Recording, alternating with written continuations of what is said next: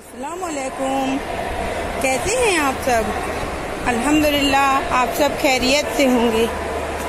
तो ये देखिए, हम आए हैं मुंबई, और मुंबई की ये स्टेशन है लोकमान तिलक, जहाँ हम वेट कर रहे हैं अपनी ट्रेन का। तो ये देखिए, अभी हम रेस्टोरेंट जा रहे हैं, क्योंकि हम लोग बहुत भूखे हैं और हम लोगों को भूख लग रही है।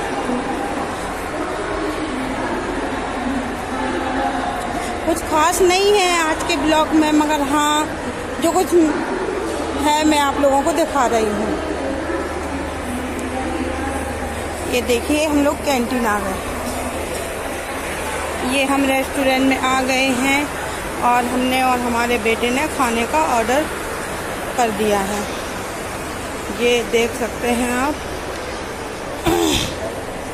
और जैसे हमने कहा, चलो अपने दोस्तों को बता दें हम चार पाँच दिन से नहीं थे, हम अपनी दवाई लेने आए थे और और हम अपनी दवाई ले आए हैं और मुंबई से ही हमारी ट्रेन है।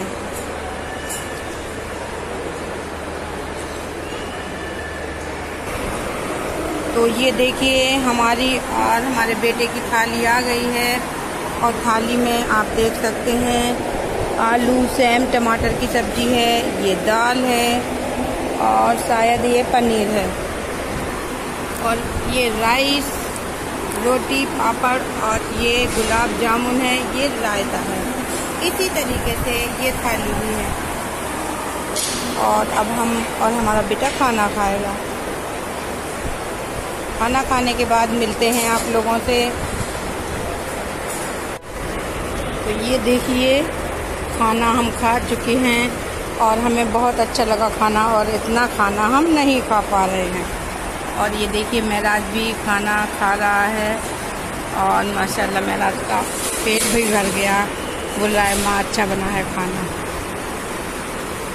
तो जैसे कि जहाँ हम गए थे अपनी दवाई लेने, वहाँ पे कुछ भी, इडली, डोसा और ये चावल ही मिलते हैं। रोटी तो बिल्कुल भी नहीं मिलती वहाँ पे।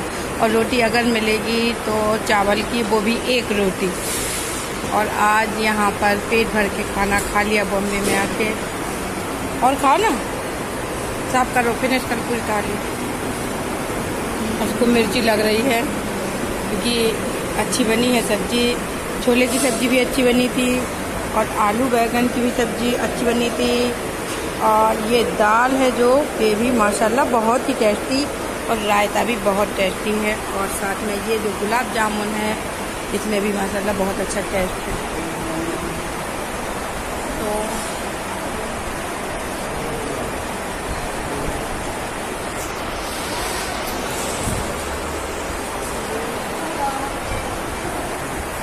और यहाँ पर जो है पानी नहीं मिलेगा बोतल लेने पड़ेगी। तो हम तो अपनी बोतल लाए थे साथ में तो वो सामने आप देख सकते हैं। वहाँ से हमने पानी ले लिया। और मोन्टी बोल रहा है, माँ, जैसे भी बने आप इन्हें फिनिश करो। तो मैं इन्हें फिनिश कर रही हूँ। बहुत टेस्टी है। बिल्कुल घर से भी अच्छा टेस्ट है। और बहुत ही अच्छे लग रहे हैं हम।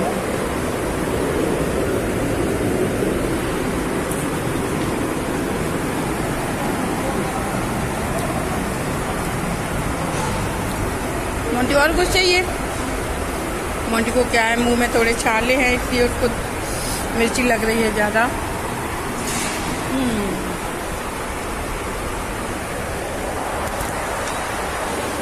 अब देखिए हम लोगों ने खाना खा लिया है। और और हम बस, हम लोग जा रहे हैं।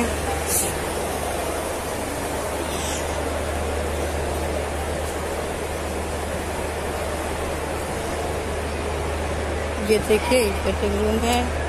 और ये भी। यहाँ पर आराम से इंतज़ार करेंगे। अभी ट्रेन को काफ़ी टाइम है आने में हमारी। चार बजकर पच्चीस मिनट पर हमारी गाड़ी है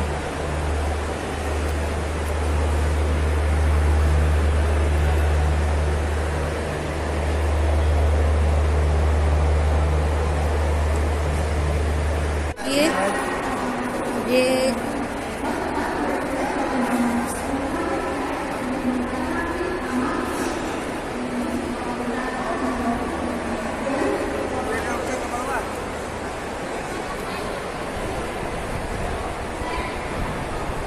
बहुत अच्छा लग रहा है देखकर।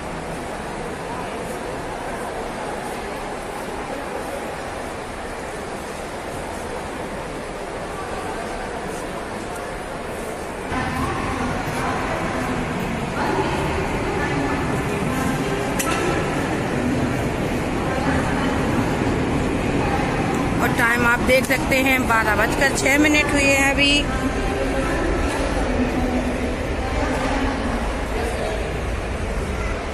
और यहाँ पर जो है, सामने आप देख रहे हैं, वहाँ पर हमारी ट्रेन लगेगी।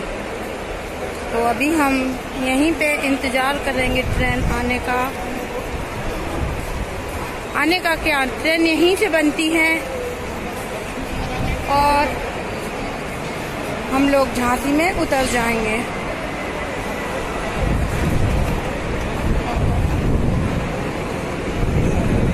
काफ़ी गर्मी है यहाँ पे।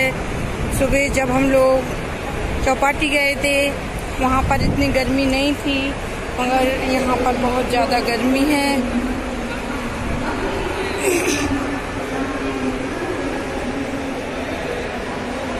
और चलिए हम बाहर से भी लोकमान तिलक स्टेशन का पूरा लुक दिखाते हैं। ये देखिए, हम बाहर को जा रहे हैं। फिर हम बाहर से आपको बताएँगे।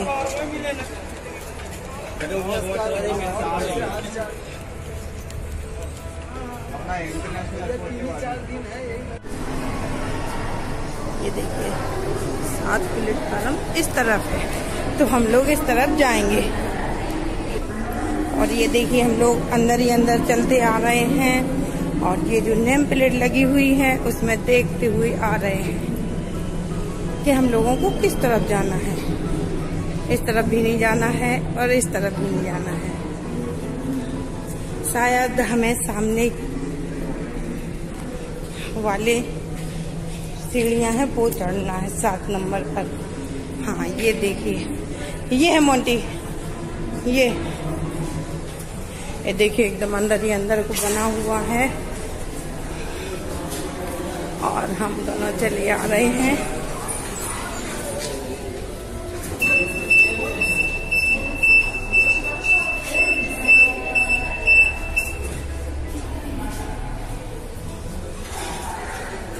ये आ गए हम लोग। तो हम आ गए हैं और ये हमारी गाड़ी खड़ी हुई है झांसी बांद्रा। ये देखिए, हम आ गए हैं। अब बांद्रा टर्मिनस स्टेशन। तो इस स्टेशन के अंदर भी जाएँगे, क्योंकि जो लोग हमारे साथ आए थे, उनकी गाड़ी उस वाले स्टेशन से थी और हमारी यहाँ से है। लोकमान तिलक से उन लोगों की थी और हमारी बांद्रा टर्मिनल से है। तो चलिए अब अंदर चलते हैं। चलो।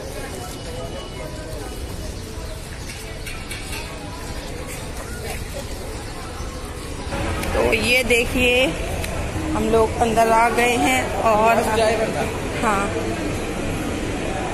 और हम लोग जा रहे हैं अंदर।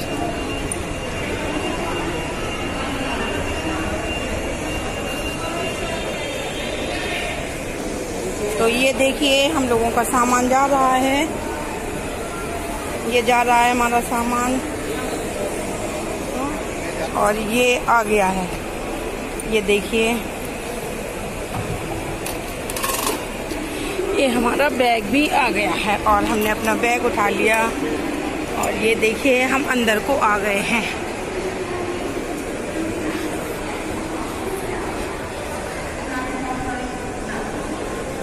और अब हमें यहाँ पर इंतज़ार करना पड़ेगा अपनी गाड़ी का, क्योंकि हमारी गाड़ी नौ बज के बीस मिनट पर यहाँ से है।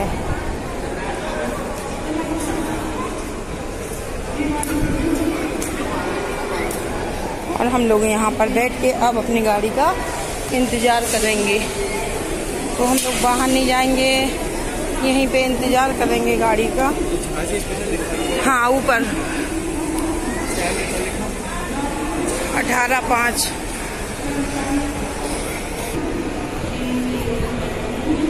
चलो, थोड़ा सा घूम लिया जाए।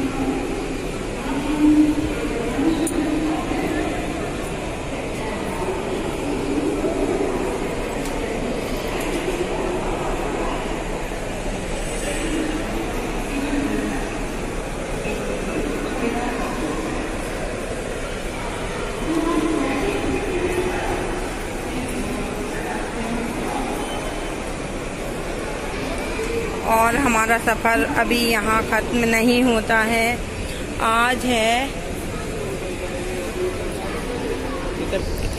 तो हमारा सफ़र अभी ख़त्म नहीं हुआ है और हमारी गाड़ी प्लेटफार्म छः पर आएगी। और ये देख सकते हैं एक है ये।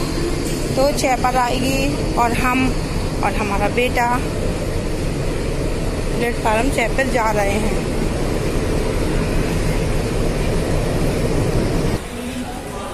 देखिए हम लोग जा रहे हैं प्लेटफार्म छः पर।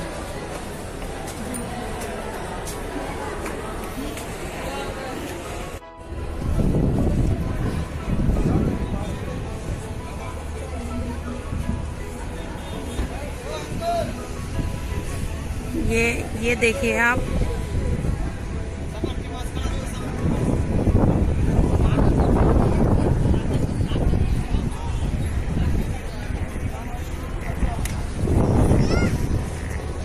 और यहाँ पर बहुत तेज गर्मी है। जैसे कि हमारे एमपी में मई और जून में इस तरह की गर्मी पड़ती है। ऐसी गर्मी यहाँ पर महसूस हो रही है। ये देखिए, प्लेन भी जा रहा है।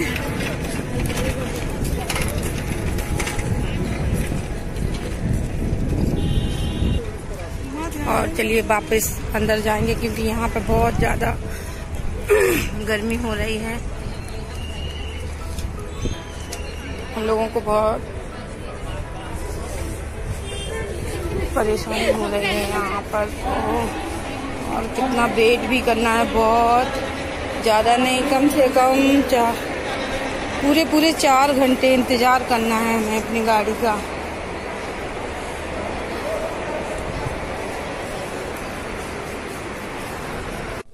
तो ये देखिए हम बॉम्बे से आ गए हैं ग्वालियर। और ग्वालियर में हमारी ट्रेन रुकी हुई है और ये हम लोगों ने खाना लिया। तो खाना खा रहे हैं। और हमारा सफ़र अभी यहीं खत्म नहीं हुआ। हमारा सफ़र अभी झांसी से हमारे जो टहरका की ट्रेन है वो सुबह है। तो दो ढाई के टाइम हम झांसी पहुँच जाएँगे। इसके बाद हम टहरका के लिए जाएँगे। और आप सब हमारे साथ बने रहिए।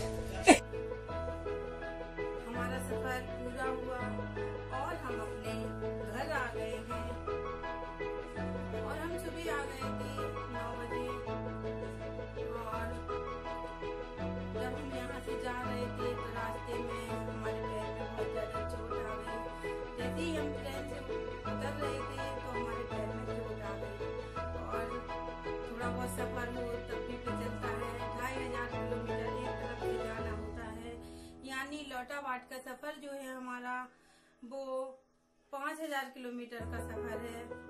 तो कितनी मुश्किलों का सफ़र है, वो हम जानते हैं, कैसे हम जाते हैं, अपनी दवा लेने और कैसे दवा लेके आते हैं। वहाँ पे घंटों लाइन में खड़ा रहना पड़ता है। और हमने सोचा कि चलो आप सबको बता दें कि हम आ गए हैं और अल्लाह करम से हमें दवा भी टाइम से मिल गई थी वहाँ।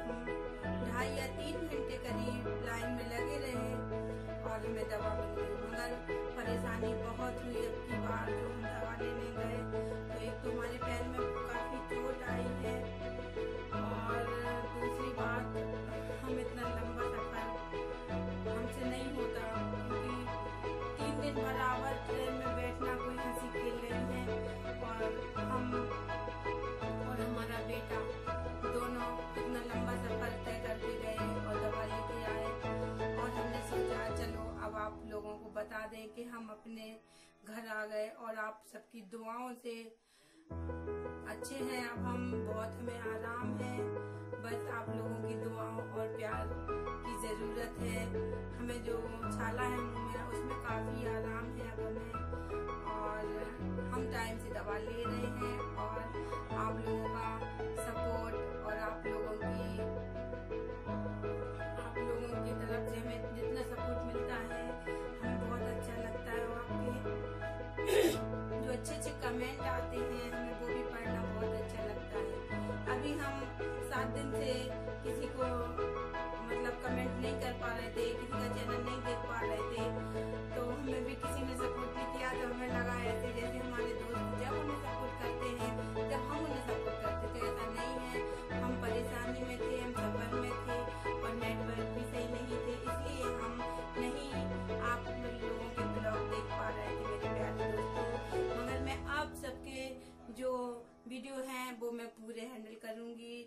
सबको लेटर भी दूँगी और मेरे कितने प्यारे दोस्त हैं। सब मुझे इतना मिस करते हैं। मेरी सम्माबाजी ने मुझे बताया जो पाकिस्तान से हैं। उनकी कॉल आई और उन्हें हमें बताया कि तुम्हें सफीना, तुम्हें सब याद कर रहे थे कि सफीना कहाँ है? सफीना एलबी में क्यों नहीं आई? सफीना एलबी में क्यों नहीं आई? तो सम्माबाजी बोल रही थी। मैंने सबको बता